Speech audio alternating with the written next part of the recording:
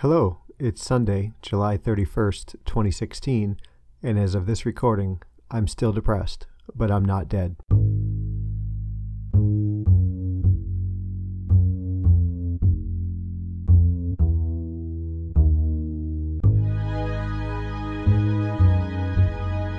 Hey, welcome back, everybody, and thank you so much for taking time to download and listen to the Depressed Not Dead podcast with me, your host, Jim. I know everybody's got, you know, things going on, they're short of time. If you're like me, you've got lots on your plate trying to figure out new ways, better ways to get ahead or stay ahead of your mental illness. So I really appreciate uh, you taking the time to give a listen. Uh, some of you week after week, show after show, I guess I should say. You're all wonderful, and I appreciate all of you. And of course, the housekeeping we've got to get out of the way. How you can get a hold of me, um, jamoalki at gmail.com, on Twitter at jamoalki, Facebook, facebook.com slash jamoalki, and on the website, jamoalki.info. That's J A M O A L K I. So I guess that's it. Uh, I do have a few things on my mind today. I don't know if they're going to be terribly profound. So apologies if you're looking for some deep insight. Um, but here I am. There you are. And uh, let's get going.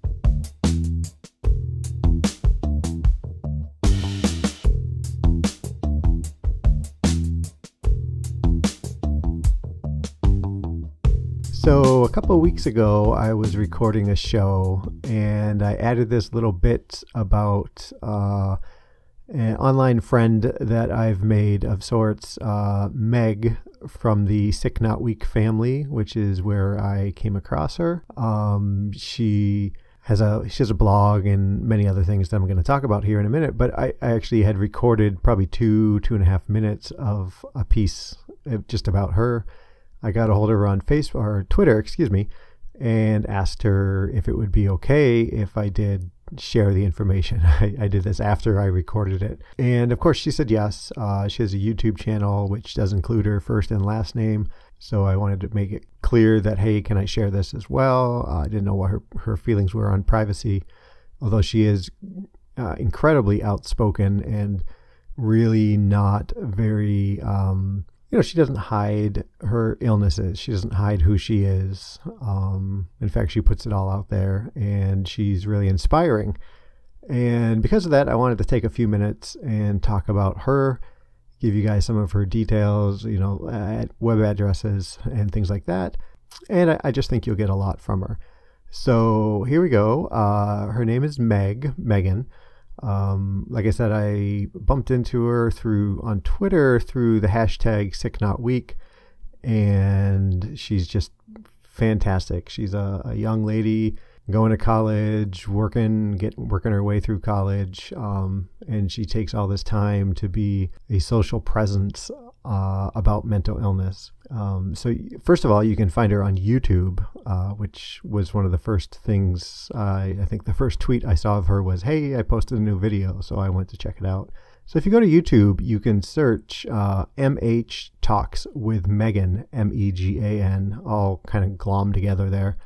Uh, in YouTube, hit enter and you'll find her, uh, probably first hit. And she's got, I don't know, I don't know, a dozen, 15 videos maybe.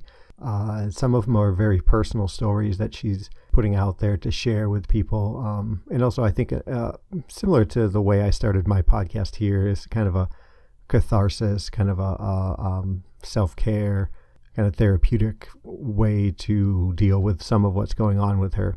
But I mean, some of her her videos are uh, talking about the importance of exercise to her, and, one of the things she always has on Twitter is when she's going to the gym. She's uh, very very active and going to the gym and working out, and very proud of what she's accomplished, and she should be. Uh, she has other videos on speaking out um, about your mental illness, about not hiding uh, not keeping it a secret from others. Uh, one video on the importance of therapy, and on and on and on. I mean, it's uh, just a variety of topics, and I think you'll enjoy uh, watching them all and listening to what this young lady has to say. Uh, check her out again, MH Talks with Megan Uh, search that all glom together on YouTube, and she'll pop right up. Uh, if YouTube's not your thing and you are on Twitter, um, she is MH Warrior Megsy. That's uh, all one, all one word again, glom together. MH Warrior Megsy, M E G S Y. So look her up on there, and she's a great follow. She's always got, you know, she tweets and retweets news stories, informational stories, inspiring articles. Uh, she's, you know, she's one of those people. If you're, uh, if you're a friend, you're always a friend. It seems like, and uh, yeah, so always good information coming from her. So give her a follow there as well. If you prefer just reading a blog, uh, she has one of those. Uh, it's uh, www.stigmafreezone.weebly.com. That's S T I G M A F R E E Z O N E dot Weebly, W E E B L Y dot com. And, uh, you know, she posts, it seems like once, maybe twice a week, which is uh, anybody who's followed me is clearly more than what I'm doing on my blog. And there again, she talks about some personal stories. Um, she's got a blog entry on self care. She's got um, at least one, maybe two, on the importance of having a support system couple little bits on um, how you can help someone with a mental illness. So, and that's another thing. She she's putting stuff out that isn't necessarily only catered to folks with mental illnesses. She's putting stuff out there for those who care for for folks with mental illness, and uh, you know, she's it just seems like she's doing so much. Uh, really great stuff there. So check her out. Again, I'll put links to all these uh, in the blog post. So if you haven't seen my blog, now is time to go so you can get these great addresses and find out uh, more about Megan. Yeah, so I said I had a couple things on my mind. Um, really, the biggest thing right now, and, and the, the, the biggest topic, uh, monopolizing the house, is our annual trip now. It's been annual for Nora and her kids for some time, and now will be my third trip with them. Uh, is the annual trip to Cape Cod. Uh, Nora's dad summers in Cape Cod. He winters down in Florida. I may have mentioned this before. So, but this time when we go out, uh, we're having some extra friends and family come out and Nora and I will be having a wedding ceremony on the beach in Cape Cod. So if you're around uh, August 8th of this year, if, you're near Skaket Beach on Cape Cod, come on by, say hi, throw some rice or flowers or whatever as Nora's uh, walking through the sand. But yeah, so you know, I've mentioned before that you know legally Nora and I are married. It was a decision uh, that she she essentially made, and you know, i would be a fool not to go along with. Uh, but essentially, she wanted to ensure that that I had means to receive the kind of care that I need via insurance. So we had kind of a, I guess we'd call it a shotgun wedding, but you know, not not what it's usually what why you'd usually have a shotgun wedding. Uh, but it was just a, a civil service uh, in front of a judge with a couple of coworkers as witnesses. So we've, you know, that happened uh, almost a year ago. But we we had wanted to do something that included our family, our kids, uh, our parents, um, you know, a few friends, but you know, really small, just something to. I think really it started out with with the kids and something that would be. It was important to us that they were part of our wedding, our marriage, right? You know, both divorced and you know, new people and Nora's kids, I think, pretty well get along with me. We seem to do okay. My kids get along with Nora, and her with them. Um, but there's not as, you know, there's not as much contact. Obviously, I'm I'm here, and I, you know, I see I see Nora's kids all the time. So, you know, my kids, it's twice a year, roughly, for about three weeks each trip. I guess that's not true. About three weeks in summer and a week in, you know, spring break or spring break or uh, Christmas break is what we alternate with, which is great, which is fantastic. And I am fortunate enough that I get to make extra trips back to see my girls. But you know, just it's it's always a little, I guess, not super awkward because Nora's great, my kids are great, but you know, it's not that level of of comfort that Nora's kids have with me. So you know, we wanted to have this. We wanted everybody to be part of it. we don't have flower girls or groomsmen or anything like that. It's small, small group, including us. We've got 29 people. Uh, it's just going to be on the beach. Everybody should be able to have a front row seat or maybe second row. Um, I guess we short in front, tall in the back, and everybody will have a front row.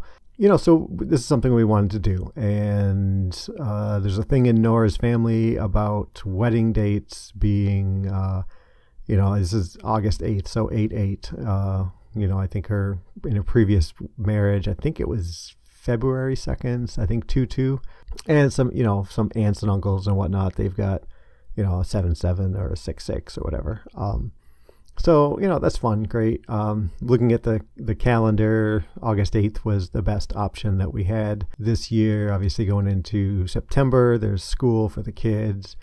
Um, and june just wasn't uh, logistically possible for a lot of people. Uh, in july as well i believe.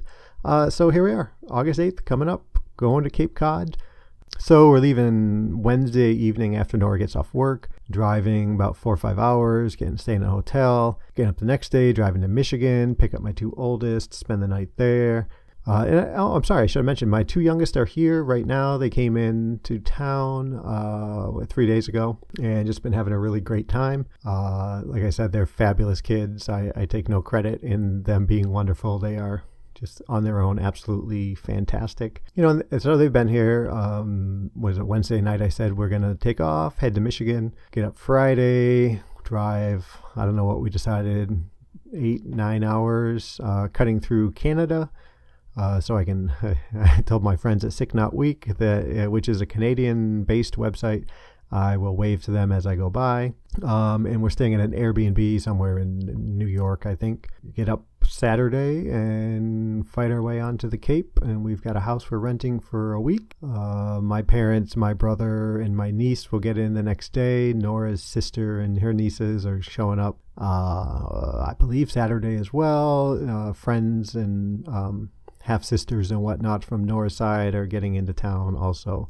And my very good friend Dave is coming out with his lovely and talented wife, uh, and they are staying there as well. So it's it's going to be a, a, good time, I hope. So yeah, so that's what's coming up for the next. Uh, you know, it's it's almost two weeks, right? Um, we'll be on the Cape Saturday through Saturday with what three hours, three day driving before, three day driving back. So yeah, it's it's it's a significant amount of time. Uh, most of a lot of it is driving, but it, it's always fantastic there. Uh, being the Cape, it's a really somewhat narrow piece of land. So there's uh, you know Atlantic Ocean facing side. You can go to beaches there, and then there's the kind of the Cape part, the interior, which is a lot more calm water and a lot of really uh, crazy long sloping um, water beaches. Um, at where we're having the wedding, there's I, I, think the difference between high tide and low tide is is pushing like three quarters of a mile that you can walk out just because of the low slope of the whole thing. And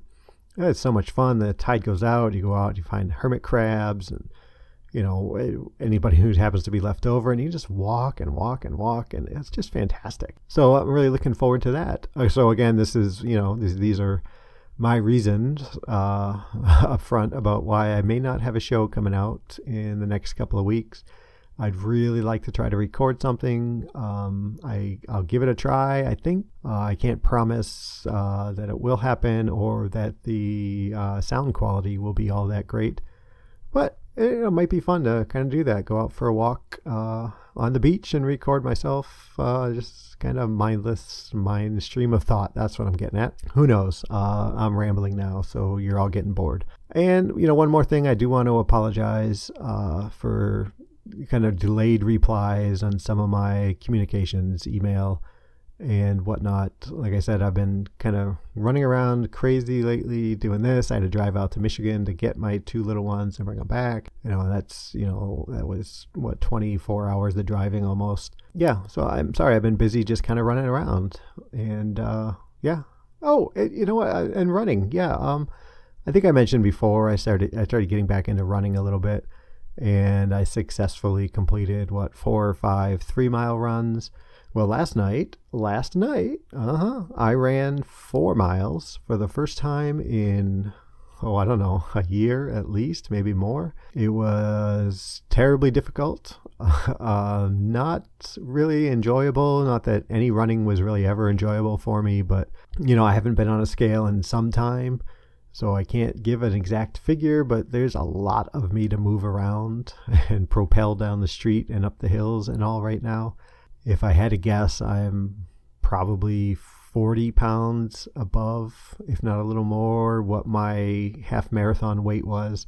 And couple that with kind of trying to come back without really doing, I haven't been doing a lot of exercising, even going to the gym and just working on, you know, muscles and core and things like that. So, yeah, so it was, it was difficult. You know, I'm not, don't give me a pat on the back. I'm not looking for that. But I just wanted to, you know, let you guys know that, hey, uh, you know, what, a month, month and a half ago, I was just a big pile of mess, kind of just I don't know, like a blob just rolling through the house, kind of miserable, and couldn't find any motivation to brush my teeth when you know, if if Nora wasn't here to keep me going, I and you know now here I am. I you know I'm up to running four miles. I, I believe I've lost a little bit of weight. Uh, either either that or I've stretched out my belt so much that that I'm down to a new uh, belt hole. You know, there's so there's if anything, hopefully th- we can take this as proof that there's hope for for me and we think we can deduce if there's hope for me, there's hope for you. Like I try to say, you know, keep going, keep being open to the possibility of things getting better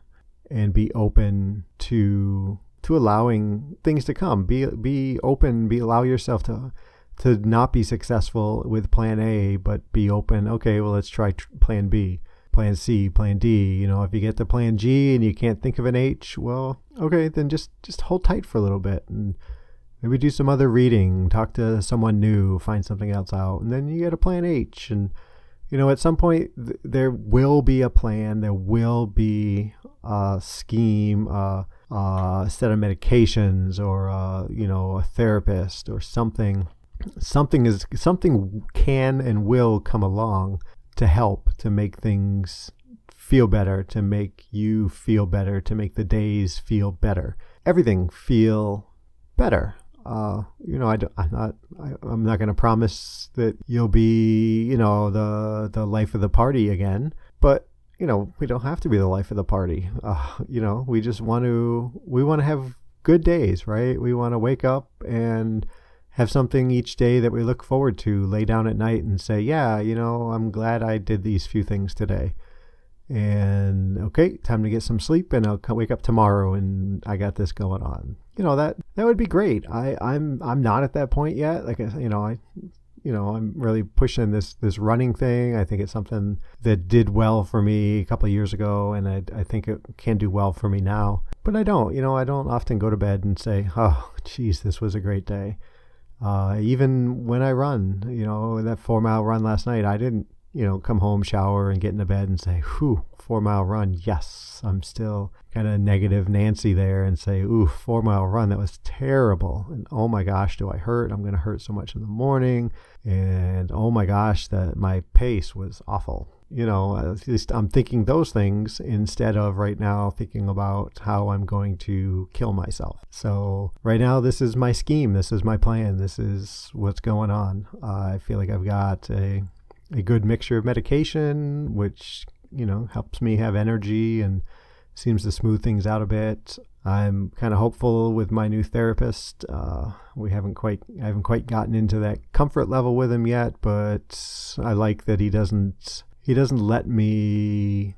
It doesn't seem like he's going to let me be kind of, uh, I don't know what I want to say here. Um, he's not going to let me be neutral on things. He's going to kind of push me to take a side on things. And in that case, in that way, kind of help force me into realizing new things and, and taking a stand and making decisions and being proactive all the way, not even, you know, reactive would have been a step ahead uh, from where I was a few months ago. But he's, you know, we're not even going there. We're just saying, hey, be proactive and let's see what we can do to to start building all these things back up to make you the you know the best Jamoalki you can be.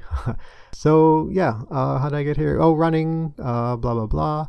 So after uh, after Cape Cod, when I get back, I've already I've already uh, warned Nora that we are going to start going to the gym together. Is if we can three nights a week uh, with her work and things like that. It does get kind of tricky, but I'm going to do my best to get her to the gym three nights a week, which means I'd be going to the gym three nights a week. And I told her there may be days I go to the gym twice because I don't want to miss out. So I may be going to the gym, you know, in the morning. I may uh, have to cut down on my bagel time at uh, the good old St. Paul Bakery. But yeah, I want to get to the gym again and start doing that and you know riding on the bike there so it's kind of a cross training and lifting weights and you know just trying to find a way to make my body feel better and hopefully get a little bit of um, i don't know encouragement a little bit of uh, more self-respect more uh, uh, there's a word i'm looking for here you guys will tell me about it thanks but yeah so i'm going to start going to the gym I'm going to uh, get back into reading, maybe 15, 20 minutes a day, maybe more if I catch a really good book. But I want to do that. I, to spend more time practicing self care and acknowledging that uh, I need to do, I need to proactively do things to care for myself, both mentally and emotionally, and also physically. And that they're important. And I'm not convinced today that they're important, but everybody says they're important. So I'd be a fool not to check this out and give it a try. I'm also going to crack open my DBT book um, and start working on that a little bit because I am pretty certain, uh, at least it seems obvious to me, that kind of my borderline personality disorder has af- affected me a lot, and I think may be a big cause as to my depression. So I need I need to get into that and start finding ways to better advocate for myself, either uh, you know not so much um, as in the mental health arena, but more in the social arena and feeling comfortable there.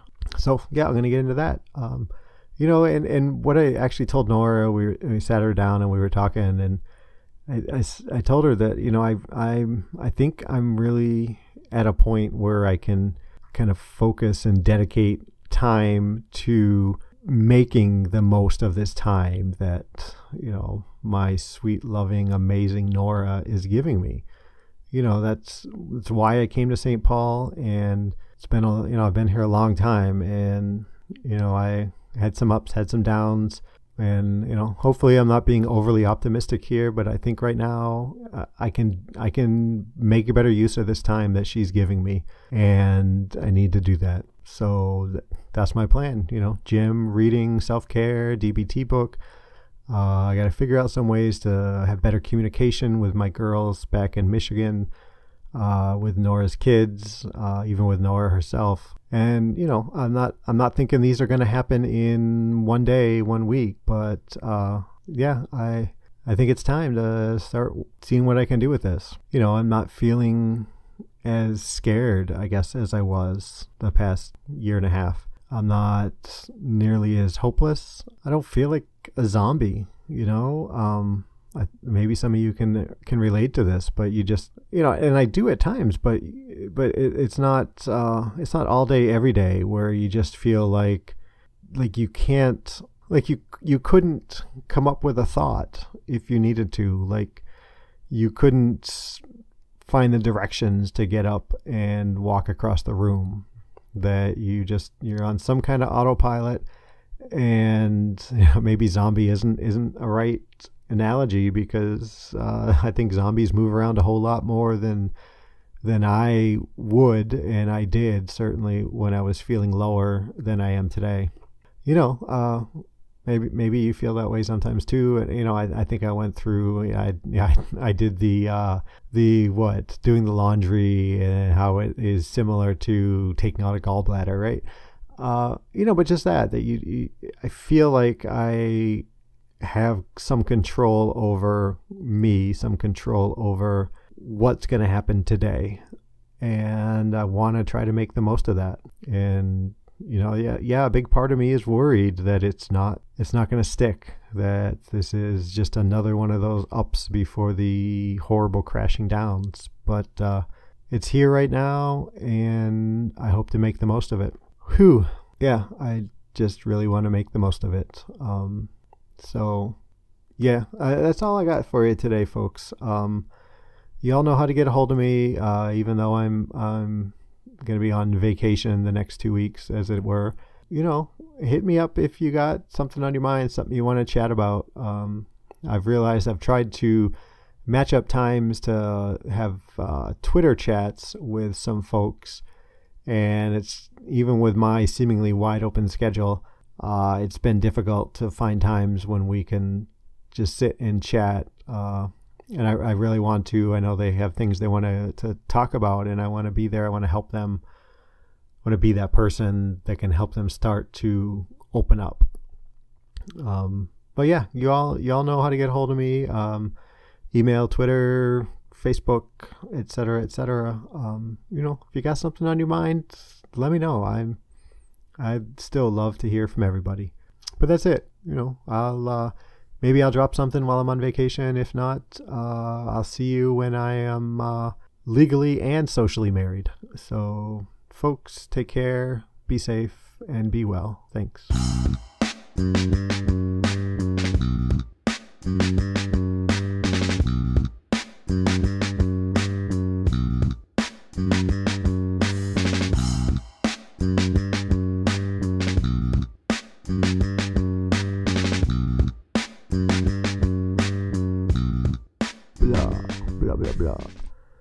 Blah blah